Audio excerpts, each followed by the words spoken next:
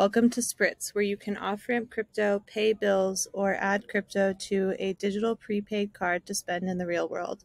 Today I'm going to show you how you can pay bills with crypto straight from your wallet. First, I'm going to make sure that my wallet is connected and switch to the network that I want to make the payment on. Today I'm going to do the Polygon network. Once you've connected your wallet, you can add your bills. Today I'll have Spritz find my bills for me. Once you connect your bill, it's going to have you add your account number and verify everything, make sure it's correct.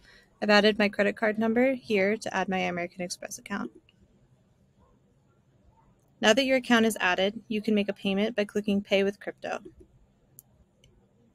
Since this is my first payment, I can get my payment matched up to $10.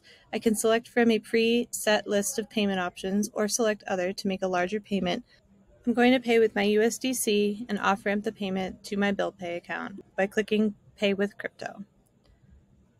Next, all I have to do is confirm the transaction in my wallet. If this is your first time making a payment with this token, you're going to have to confirm the token and then confirm the transaction separately. We'll walk you through it in the app. Once the payment is finalized, it will pop up this window and everything will be done.